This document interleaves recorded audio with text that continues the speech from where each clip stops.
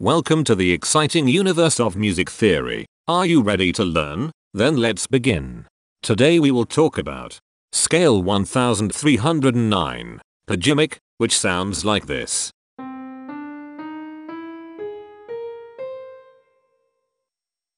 This scale has 6 tones, which means it is called a hexatonic scale. This is a bracelet notation diagram of scale 1309. The shaded circles represent tones that appear in the scale, and they are read clockwise, starting at the top.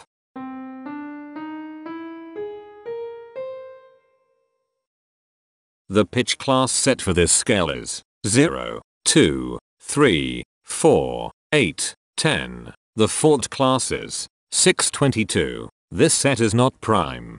The structure of a scale is a description of the interval distance between each successive tone. This scale has a structure of 211422.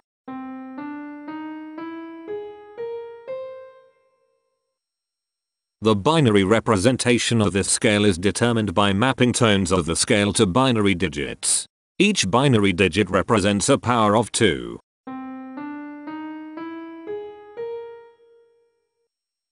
To get the scale number, we add the powers of 2 together.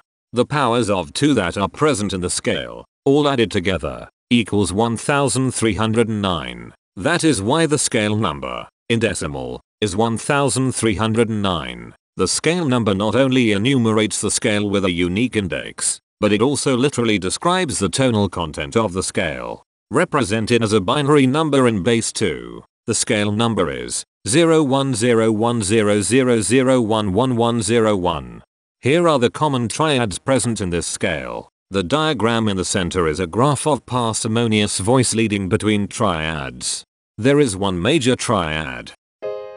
There are no minor triads. There is one augmented triad. There are no diminished triads. Here is a Hamiltonian path of parsimonious voice leading that uses all the triads. This scale has 6 modes. The first mode is itself. The second mode is scale 1351, also known as eriptimic. It sounds like this.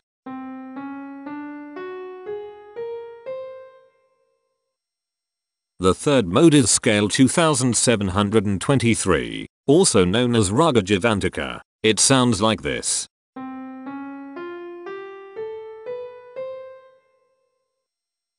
The fourth mode is scale 3409, also known as catonymic. It sounds like this.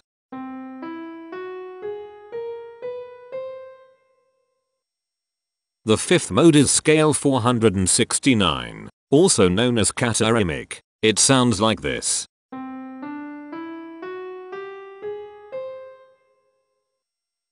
The sixth and last mode is scale 1141, also known as rhythmic. It sounds like this.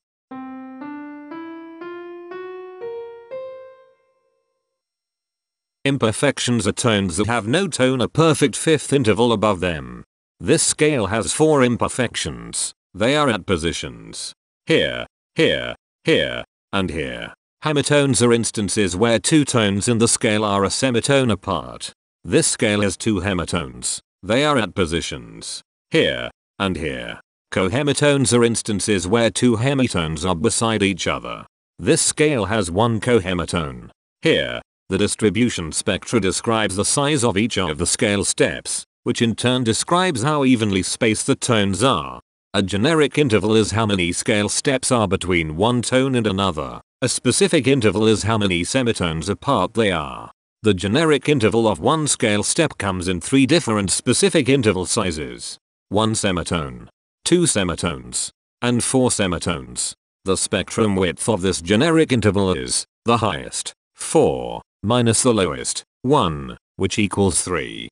The generic interval of two scale steps comes in 5 different specific interval sizes. 2 semitones, 3 semitones, 4 semitones, 5 semitones, and 6 semitones. The spectrum width of this generic interval is 4. The generic interval of 3 scale steps comes in 5 different specific interval sizes. 4 semitones, 5 semitones, 6 semitones, 7 semitones, and 8 semitones. The spectrum width of this generic interval is 4. The generic interval of 4 scale steps comes in 5 different specific interval sizes. 6 semitones, 7 semitones, 8 semitones, 9 semitones, and 10 semitones. The spectrum width of this generic interval is 4. And finally, the generic interval of 5 scale steps comes in 3 different specific interval sizes. 8 semitones, 10 semitones, and 11 semitones. The spectrum width of this generic interval is 3. The spectrum variation is the sum of all the widths, divided by the number of tones. The spectrum variation of this scale is 3. Since the variation is greater than 0, this indicates that the scale is not perfectly even. The highest spectrum width is 4. Since this is greater than 1, we know that this scale is not maximally even. If every spectrum has exactly two specific intervals, we call that the Myhill property. This scale does not have the Myhill property. Since the generic interval ranges overlap, this scale is an improper scale. The interval vector of a scale is a description of what intervals exist between its tones.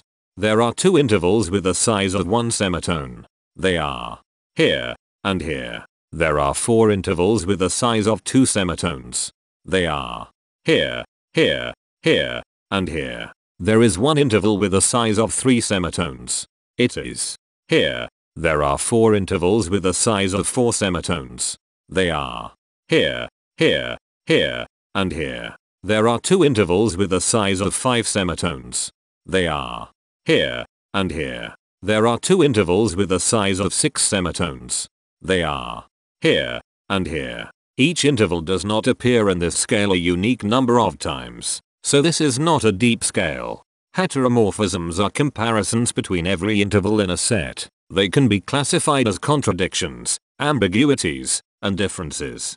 A contradiction exists when a small generic interval has a bigger specific size than a larger generic interval. For example, if a generic third interval has a larger size in semitones than a generic fourth interval, that is a contradiction. The number of contradictions in this scale is 10. An ambiguity exists when two intervals have the same specific size, but they have different generic intervals. For example, if a generic fourth and a generic third interval are the same size in semitones, that is an ambiguity. The number of ambiguities in this scale is 23.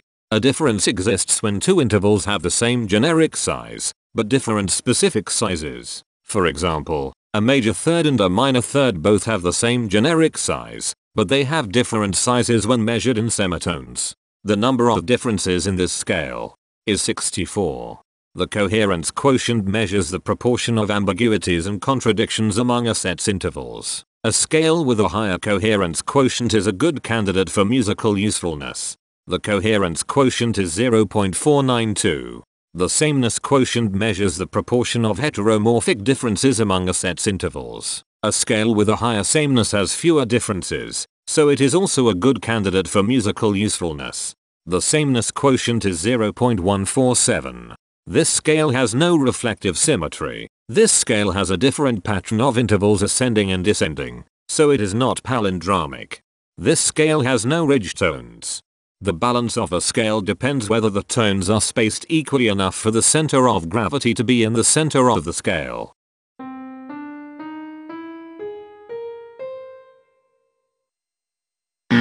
This scale is not balanced. The inverse of a scale is a mirror image. It is what you get when the sequence of intervals is reversed. The inverse of this scale is scale 1813, also known as catathymic. This scale is chiral. It cannot transform into its inverse by rotational transformation. This scale has no rotational symmetry. For even more detail about this scale, visit ianring.com slash music theory slash scales slash 1309. If you found this video informative, please consider supporting this channel by becoming a patron. Of course not everyone has the means to support a project like this one financially, and that's okay. But if you are able to spare just $1 a month, your help is deeply appreciated. It will not only allow others to continue enjoying this series for free, but will also go toward improving the quality and quantity of music theory resources we can provide. Go to patreon.com slash music theory and join others like yourselves who totally geek out on all this nerdy stuff. Thank you to these Patreon patrons.